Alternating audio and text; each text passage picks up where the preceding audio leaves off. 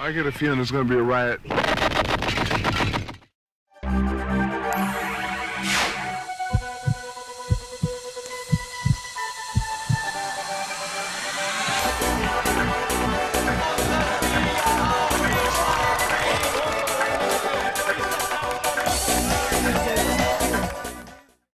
And we are back with new downhill action, but old weather conditions. It's still raining, and the weather forecast has even predicted snow up in the mountains. During training, we saw one crash after another. One mistake here, and you're out. We met up with race and park director Cornel Grunder to find out more about the new World Cup downhill track.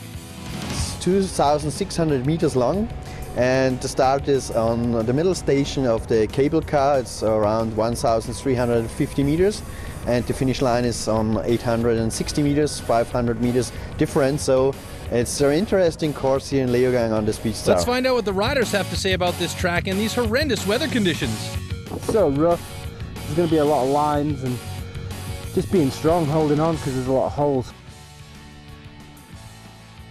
It reminds me of like Val di Sole and Schladming also, so it's like a load of tracks thrown into one, it's good. Ah, I love the track, it's such a good track. It's really rooty. There is some hard section and some pitwing section, so it's really cool for everyone. It's a good track. And there she is in the start gate, French girl Myriam Nicole getting down through the rough part of the track. She has to find a balance here between trying to win and staying on the bike. Looking pretty good and pretty smooth here as she enters the woods. Staying on and keeping the flow nicely. Myriam Nicole coming across the finish line. She's the fastest girl, and she will take over the hot seat 7.7 seconds faster than the current hot seat, Fionn Griffith. Oh, I was no, I'm not happy with it, but I knew I was really tired, so it was so hard on the pedaling section, but I did my best. All right, there is one more French rider to come. Next, we have Emmeline Ragot, the current world champion. She is the second to last rider to start among a field dominated by the French, and she is looking very good. Checking out her split time, though, she is already four seconds back, a problem in the wooded area, and she comes across the line three seconds back of Jonnier. So Jonnier holds onto the hot seat. I tried to go fast but stay on my bike in the same time to get a podium and save the points. I don't know. I don't know if it's fast enough. I don't think it's fast enough to win today. We see. And here she is. She had the fastest qualification run and is the last rider who can take Jonnier off the hot seat. It's Rachel Atherton, and she has been looking fantastic this year, looking very fast here. She's been training hard, super smooth through this muddy section. Look at that mud splashing everywhere, cornering nicely. Those big tires are really helping her out. And by the first split time, she's already three seconds faster than Jonnier and she is looking very, very strong on the course here. Jonnier not wanting to look at the big screen. Bad luck for her if she looks up. She might jinx herself out of this race. She's got the hot seat right now, but Atherton on course, always very strong. And here she comes to an area where she excels at. The wooded section is something that Atherton trains well with her brothers, and she's super strong through the wooded section. Now, wait a minute, where's Rachel? We should see her by now. Turns out that she didn't have luck on her side. She had a crash in the woods, dislocating her shoulder, so she won't be able to finish this race. That means Jonnier wins it. Yeah, I'm happy to a win in the mud. It's awesome for me. But uh, yeah, like I said before, really weird as well when my main, my main um, competitor didn't cross the line yet. Well, it's probably not the way Jonnier wanted to win, but this means she retains the leader's jersey with 650 points. Next up, we have Steve Uh, Peat. so far this season, I'm not happy at all with my results. No, What are you, you going to do to change it tomorrow? go faster. Well, a clear answer from Petey, and here he is, the 2009 world champion Steve Peat on course. The night before the race, Petey commented that every time he wore the world champ jersey, he crashed. His mechanic, Ricky Bobby Clarkson, suggested he crash before the start to get it over with, and that's exactly what he did. Walking towards the start, Steve did the dead turtle, threw himself into the bushes, through a fence, and into somebody's front garden, pulling up flowers and rolling around in the mud to get the jersey dirty. Apparently, the strategy worked. He's having a great run so far, 2.21 seconds up at the first split time, fastest time so far. And as Steve is coming towards the second split time, let's check how it's looking here. He is 2.12 seconds faster, fastest time so far, so that is looking good. And it looks like he is back in form for this race here. The whole strategy of getting the dirty jersey beforehand is good one, and he is on the hot seat with 4.21 second lead. It's so physical, you're really tired for the last technical part, so it's pretty hard to carry good speed all the way down. But I had a pretty decent run, so I'm fairly happy. All right, here we have New Zealander Cameron Cole, who scored his first podium at the last World Cup in Fort William, coming in second. Watch out, Petey. Young Cameron is 66 hundredths of a second faster so far on the second split, and looks like he is going to really challenge for that hot seat. Going to be tight. Here he is coming down towards the latter half of the course, looking very fast. Wow, he is on top of it. Steve Peat, 411.82 and Cameron Cole already 408 coming across the line here. And he is, oh my goodness, point zero five seconds faster than Steve Peat. Cameron takes over the hot seat.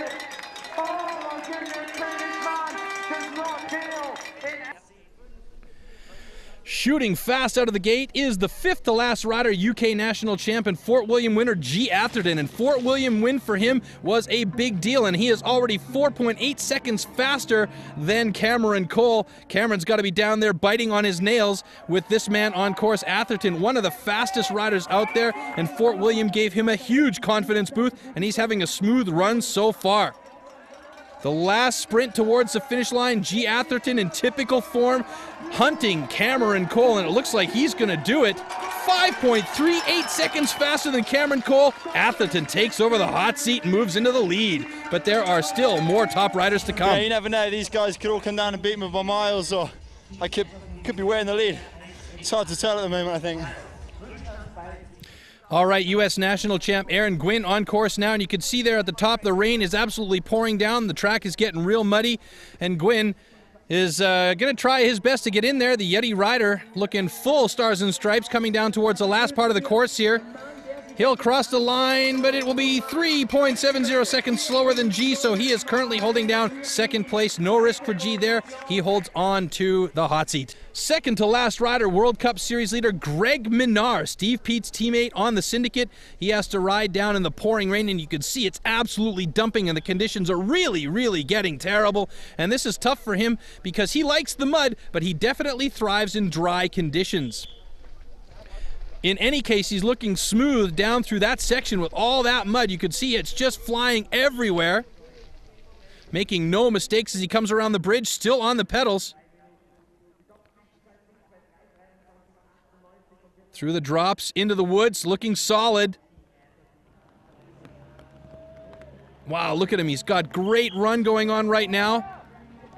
South Africa's Greg Minnaar coming up to split time number two. He's 29 hundredths of a second faster. It looks good. Gee Atherton's going to be worried about this man coming down. And you know he is going to be on top of those pedals every single chance he gets to try and get every millisecond of time on this course. He's super fast, super smooth, and even though he doesn't like the mud, he's looking great. He comes out of that wooded section like a rocket, absolutely launching himself right on top of the pedals here, looking smooth and confident as he comes down to the last stretch to the finish area. A couple more pedal strokes around one last corner across the finish line. It's going to be close, but he is 74 hundredths of a second faster than Gee. He takes over the hot seat right there, and he gets congratulations from Petey at the finish. All right, the last rider who can take the hot seat here, the fastest qualifier in these conditions. Yes, the fastest, Samuel Blenkinsop from New Zealand. He's a pretty quick guy, and he has been pushing himself harder and harder as each event goes on. A little bit careful through this upper section. He needs to be a little bit more aggressive if he wants to get down there, but you have to draw that line between aggressiveness and caution here so that you don't go down. And here you can see he's got it open. He's got no brakes going right there. He's letting it off right into the wooded section. He's looking okay. Not too bad for Samuel right now. Putting a little bit more caution in through those rooty sections. Oh, he slips out. Doesn't quite go down. He stays on top of the bike. That's a good thing, but that's going to cost him big, big time. And against guys like Gee Atherton and Greg Minnaar, that is going to cost. Let's check it out at the second split time here. Hopefully, we'll get a time. He is 2.92 seconds back, and again, he's out of the pedal, so Greg Minnaar can be pretty secure in the fact that he will hold on to the hot seat here. Samuel Blenkinsop making some poor choices on the line, making a couple of small mistakes on course, and that does it for him. He crosses the line at plus 552. This was Greg's 13th UCI downhill career win. Amazing, really, you know. Two wins now this year out of three. It's um, I'm over the moon. He had a good weekend. Yeah, second in the qualifying, and the win is, is really good for points. Here are the current men's downhill World Cup standings after Leogang. We have Greg Minnaar in the lead with 660 points, followed by Gee Atherton, who came second today, and the American Aaron Gwin, who finished third in Leogang. Greg seems unstoppable. Let's see what the next World Cup stop will bring him. Yeah, pretty pleased. You know, just behind Greg there in second place. I think I was 0.7 down, so you know, super close again, but it would have been cool to win it. Made a lot of mistakes, but I think every